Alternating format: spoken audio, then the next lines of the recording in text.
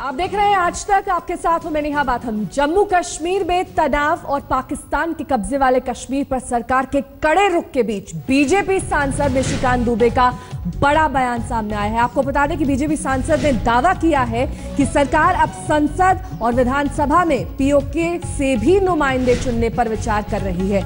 सांसद का यह दावा है कि सरकार इस सिलसिले में जल्द ही एक बिल संसद में ला सकती है। निशिकांत दुबे के मुताबिक पीओके से लोकसभा में पाँच और विधानसभा में 24 सीटें भर सकती है सरकार।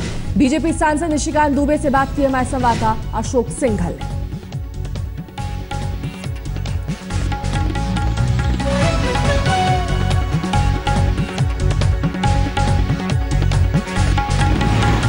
कैसे अब मुहिम छेड़ेंगे या पहल करेंगे?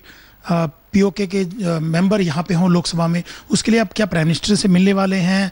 पार्लियामेंट में बात रखने वाले, किस ढंग से नई पहल करेंगे, क्योंकि बदले हुए हालात के अंदर? देखिए, मैंने प्राइम प्रधानमंत्री जी को ये संज्ञान में है, क्योंकि जब आप प्राइवेट मेंबर बिल देते हैं तो जो कंसर्न मिनिस्ट्री है, उस तक ये बातें जाती है। जब ये मैंने बिल दिया था तो उस वक्त जो गृह राज्य मंत्री थे किरण रिज्जू जी, उनसे मेरी दो बार, तीन बार लगातार बातचीत हुई थी। वो अपने अधिकारियों के साथ जो है, हमारी बैठक भी कराना, कराने वाले थे। उनके संज्ञान में ये सारी बातें हैं। और जहाँ तक प्रधानमंत्री जी का सवाल है, प्रधानमंत्री जी ने तो खुलेआम ये बातें कही है कि अब जब भी पाकिस्तान से कोई बातचीत होगी तो पाकिस्तान से बात केवल पी को कब भारत में वापस लाना है जो उन्होंने अवैध कब्जा कर रखा है उसके लिए बात होगी और तो कोई दूसरी बात नहीं होगी तो प्रधानमंत्री जी। तो पीओके पर यह बड़ा फैसला सरकार जल्द ले सकती है। इस मुद्दे पर बातचीत की केंद्रीय मंत्री जितेंद्र सिंह से आज तक संवाददाता अशोक सिंघल ने डॉक्टर साहब एक सवाल और उठा है कि विधानसभा जो जम्मू कश्मीर का उसमें 24 सीटें जो पीओके के लोग हैं उनको दी जाए। पाँच सीटें लोकसभा में पीओके के लोगों को दी जाए। क्या सरकार इस पर आगे बढ़ रही है? क्योंकि बीजेपी सांसद निशिकांत दुबे भी दो बार प्राइवेट मेंबर बिल लेके आ चुके हैं। लेकिन बदले हालात में सरकार को क्या इस दिशा में सोचना चाहिए, आगे बढ़ना चाहिए? देखिए, ये एक संवैधानिक स्थिति है और इसमें कोई दो राय नहीं। जो लोग जम्मू कश्मीर के संविधान का गंभीरता के साथ और गहराई से अध्ययन करेंगे, उन्हें बात स्वयं ध्यान में आ जाएगी कि उसमें ज़रूर ये प्रावधान है कि 24 सीटें विधानसभा में उस क्षेत्र को लेकर के हैं जो पाकिस्तान के नाजायज़ कब्जे में है।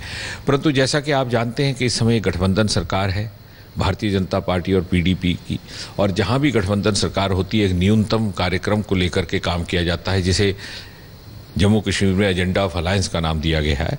और इसलिए फ़िलहाल विकास के एजेंडे को लेकर के, जो कि आम इंसान के साथ संबंध रखता है, एजेंडा ऑफ़ अलायंस एक निर्धारित किया गया है और गठबंधन सरकार उस पर काम कर रही है। लेकिन लोकसभा में पाँच सीटें तो आप लोग कर सकते हैं। आपकी बहुमत की सरकार है बार बार मांग भी उठती रही है। इन बातों का संज्ञान जब भी होगा तो सामूहिक तौर पर होगा लेकिन हाँ इस बात से इनकार नहीं किया जा सकता कि जम्मू कश्मीर के संविधान में ये प्रावधान है।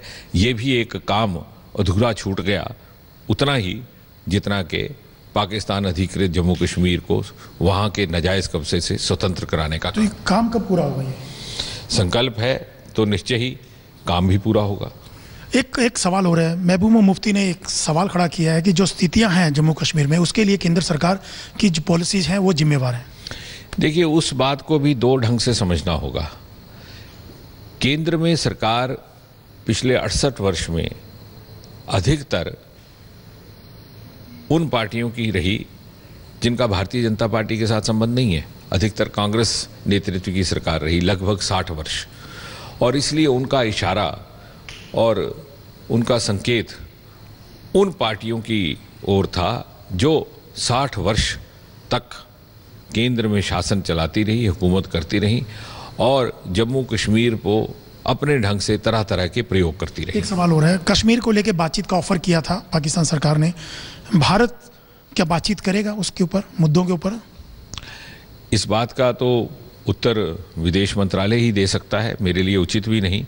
परंतु जिस प्रकार का भी मौकफ या रुख अपनाया जाता है विदेश मंत्रालय की ओर से सरकार की ओर से वो तत्कालीन घटनाक्रम को संज्ञान में लेकर के किया जाता है।